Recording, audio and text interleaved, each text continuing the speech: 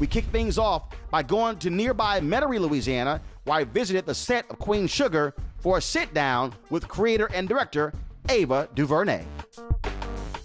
What up? Hey, how are you? Welcome. All good. Glad to be here. Welcome to the set of Queen yes, Sugar. on the set, uh, not far outside of uh, New Orleans. Yeah.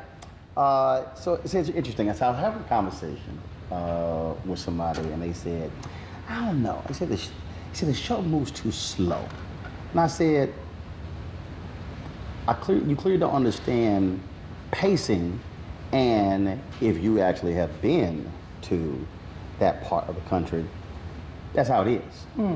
And it's interesting as I've watched the first season, even the second season, how pacing plays it. Pacing is sort of its own character, if you will, on the mm-hmm. show. Mm-hmm. Yeah, no, I mean, it, it, it's not for everybody, uh, but it's for a lot of people because our ratings are spectacular. So um, I think folks are falling into the rhythm of the show, uh, which is very deliberate.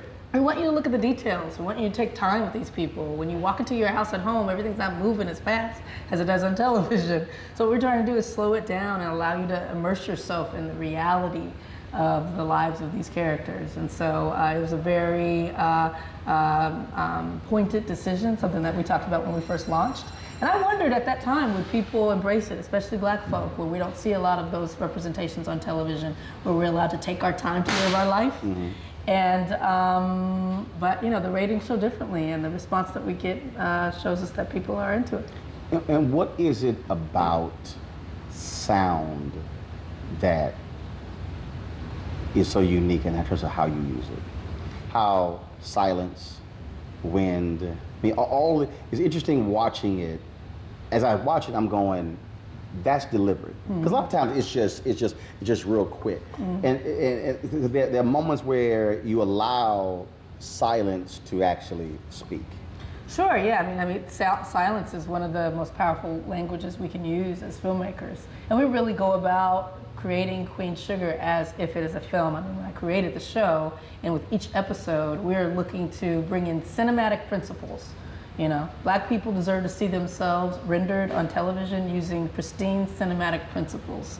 That it means the best lighting, the best sound design, uh, the best color grade, all the things that people shouldn't think about when they're watching the story. But just know that that goes into the mix when we're putting this together. That you're looking at something that's been made and crafted in the same way that I craft my films for television. And so that's done with you know some of the, the best shows on television, um, but those shows don't center black life.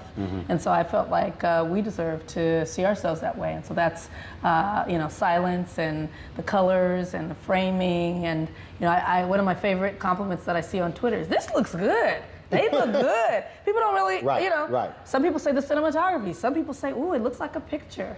Uh, I saw a tweet the other day saying you could watch it with the sound off and still enjoy yourself. I mean, these are the things that make me say, oh, people are noticing the extra work we put in to make it look good.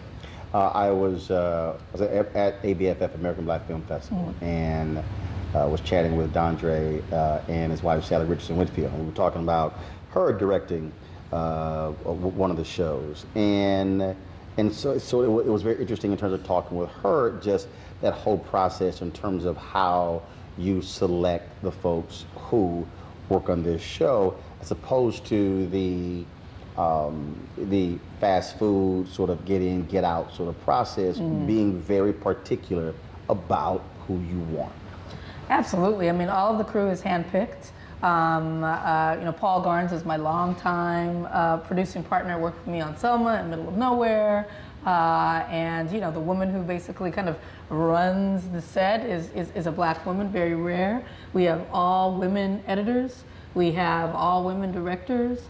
We have a black woman post supervisor, super, super rare.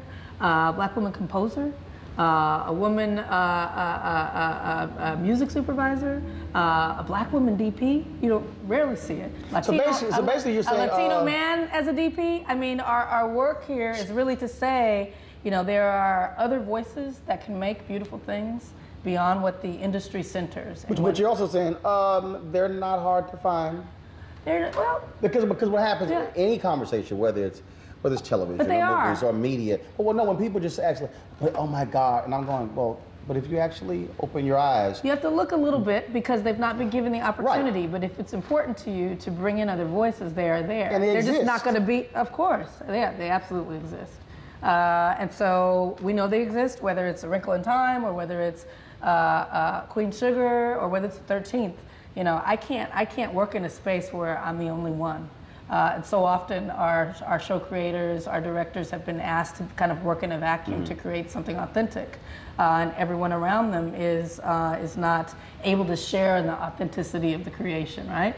And so, uh, so yeah, we try to make sure that we empower lots of different voices, and I think it comes out in the wash. It looks good. Earlier, you talked about when you are looking on social media and you see these content, I mean, you see these comments. Um, I was sharing with one of my staffers. I said, I don't think other black people, I'm talking about people who even work on my show, others really understand what it feels like to get black love from people who watch. It feels good. There's um, a connection with our audience as people who are in the public eye or who create uh, that is so, I don't know, there's a spiritual connection to it. I think part of it is because of the absence. There aren't, there isn't enough, there isn't enough of these images. So when they see them and they see them done right, when they're getting information from you that means something to an opinion that they can relate to, talk about, uh, when they're seeing images that they can nod their head and talk back to the, you know what I mean? And be like, I know this, I know how this feels, like, wow, this is beautiful, look at how we are. Um, uh, there's a, uh, I don't know, gratitude, but a, great, a sense of grace Right. that I feel. Um, and so, yes, it's been really nice for me because I've only been kind of doing this for about eight years. So each year, I, I feel like m- a little bit more people know me, like know me. So it would start where, like now, now and then when I go out, someone will stop me. Uh, and now it's almost every time I go out. And it's lovely. It hasn't gotten to the point where it's, you know, it's not Oprah level where you, you're like, it's too much, I can't even hear it. Um, but it's so just lovely because I like to stop and ask people, I ask people more questions about it. And for me these days, when I'll see someone coming up to me, black, white, woman, man, whatever it is, I'll try to figure out which project are they going to talk about. they're going to say they're going to say they love Selma. They're going to say they saw 13. They're going to say they, they watch Queen Sugar. They're going to what are they going to say? They love Scandal. What are they going to say? And so, and you know, about half the time I'm wrong. Because you can't peg people on Oh, based no, on what they no. look like. I- I was- you know what I mean? I like was- I, I had an older white woman walking up to me, and I was like, "Oh, she's gonna say she loves Dr. King and Selma." And she was like, "Ralph Angel." No, no, you. I, I was I was in Dallas, um, and I'm going to speak at uh, Delta Sigma Theta at a luncheon, so I'm going there. And this bro walks by, and pants are sagging. Uh, he's got Timberlands on. He got a grill, all that. That's So I walk by, and I speak to everybody. Yep. Bro, how you doing? I walk by, and as I go by, he goes, TV One. Turn around like Roland Martin. Man, the stuff you drop on the show. and I'm going, okay, I would never I would Yeah. never have thought Yes. he's watching the show. Yes. And it was and it was I was kind of like, okay. That's great. When you think of the folks who are on this show, when you look at the actors, many of them have done other projects as well. It is interesting when I talk to them off air, and then when you look at their characters on there. I, I, and specifically, I talk about Omar Dorsey. I always mess with Omar because when he did when he did Ray Donovan, I literally every week on Twitter wanted him killed. And so I said, dude, you have no idea. You need to thank Ava that you're on this show. I said, he's like, man, you were killing me every week. He said, so finally I have a character where I can actually live. Because Yeah. I, I mean, I was going after him. Yes. But but it's amazing to see what he does and how people are relating to, and I'm gonna purposely say, a non-traditional brother. So he is not the the typical Hollywood chiseled, uh, curly hair, wavy hair, you know, Mr. Suave, debonair. And sisters, and all I see, man, if I can find me a Hollywood. But it's just, and we know that brother. Yeah. That's an uncle, that's a cousin, that's a daddy. We know exactly who that cat is. Well, who he is is amplified because you can see him in relation to the woman that he loves. So a big part of Hollywood is Vi. I mean, we love Hollywood because of the way he treats Vi. Right. Period. And so uh, just to be able to show the complexities of their relationship and the purity of their relationship every week uh, is something that I think is really nourishing for us. Just a hat tip to all the men out there who love their women and who treat them right, and who treat them well. And there's a lot And it's of not them. an aberration. It's It- a lot of them out there, and I, I just didn't feel like I was seeing that hardly enough on television. Mm-hmm. It's always a problem, right? How about just the, the brothers that are solid, that are just doing it right and doing it well? And so he is, and they they're great together. You okay? So you came to DC, and I it, I remember. So we we were on this plane together, I think, and then uh, was it one of the brothers wasn't there to pick you up? So we drove drove you into Yes. town. We're in the car, we're just talking or whatever, and so every time I see you, you're sort of like the kid on Christmas who has this huge smile going. Oh, I get to open a new gift. it's not okay. I got to go ahead and do this thing. Right. It's that you really are having fun. No, isn't that great? I mean, How you on exciting. Periscope, like, just, just on on a location shoot, just like way too. I'm going. Okay, it's Christmas again. Yeah, it is. That's a nice observation. It feels that way. It feels that way. Because, you know, I didn't pick up a camera until I was 33 years old. And I had a job that I liked before, but um, it wasn't my calling. It wasn't what I was meant to do. And um, a good friend of mine, named Oprah Winfrey, always says that uh, the best way that you can honor God is to step into your calling. And that doesn't always necessarily mean, um, you know, having some kind of big career. It may be to, you know, be of service to someone else or to be present for your family. But when you know what you're meant to do and you have the opportunity to do it, uh, then every day's a gift and it's never work. So this doesn't feel like work to me. It feels like, look at what I get to do today. I mean, and yes, the days are long and they're crazy, but, um, but, and yeah, of course, some days it gets a lot and you're kind of like, "Ah, I'm overloaded today. But overall, when I write down my five things I'm grateful for every night, which I do, um, sometimes it's people coming up to me, that lady who came up and told me this in the store. Uh, you know, being able to uh, call action today and how it feels when you say, it's a great feeling. You say action, people start to move and say words. What? You I- say, I- I- you say cut have- and they stop. I have a- this have- is great. I have a yeah, I have a different action on my show. Move your ass. That's just a different. Yes, a little different. don't be Steve Harvey moving people. No, no, don't no. Be, don't be No, mean no, to people. No, but the brother I did it to, he busted out laughing when I said it. Okay, Now the okay. others, now the other people on the show saying the same thing. Henry, move your ass. Right, and so, right. that- so now it's like, so now it's a ru- It's a thing. Oh no, it's a thing. Yes. It's a thing. but yeah, it's good things and it's blessings all the time. So I'm enjoying it. The power of the word no. Because you turn stuff down, and a lot of people, "Ooh, why would you? You were tied to a project, and your deal was, if it's not right for me, it's not right for me. Sure. Yeah. Yeah, no. I mean, I think we have to be discerning in what we do. I mean, the thing about directing is it takes so much time, right?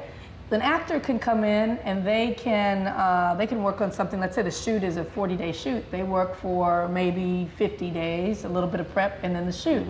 For us, for the I've got to prep it, I've got to shoot it, and then I've got to edit it together, post. It becomes a long thing. So I can only really commit myself to something that I love because I'm going to be hanging around with this thing for a year. And then the days are not fun because you're doing something that you that you didn't really love. So I just try to find things that I really, really enjoy, like this new one, Wrinkle in Time. Um, there were some other films that I was looking at before, but they just didn't catch my heart like uh, like Wrinkle did. And so, you know, I don't know if people are going to like Wrinkle, um, but I love it, right? And so that's the first. That's the first That's thing the you first thing that focus matters, on. yeah. is, yeah, you gotta love it. Put the love into every frame. Last question. I can't end this interview without asking you about a Array. Yeah. Being- being a rebel, come on. I'm a, I'm a rebel. I'm a rebel. You've been writing with Array when it was a firm, when it was.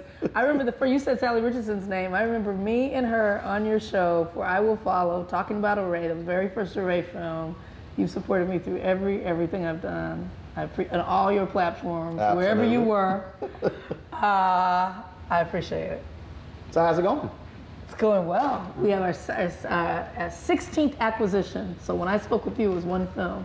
16 films that otherwise wouldn't have been distributed by women and people of color that are now out in the world, screening in theaters and screens all over the place and on Netflix. Uh, so uh, no, it's been it's been beautiful to have that idea and to work in concert with so many uh, film lovers around the country to keep it going. Uh, coming up on our on our 10th year. Weekdays on TV One. I will never lie to you. Oh my God. Roland Martin, He doesn't want to talk to us. He wants to ignore us. uncensored, Hell no. That ain't gonna cut it, boo. unapologetic, No, no, that, that is fundamentally false. You are wrong. He unfiltered, wants an America where we all look alike. He ain't talking about black people. unrelenting. You better go work out, because you got a fight on your hands. News One Now with Roland Martin. Weekdays at 7 a.m. on TV One.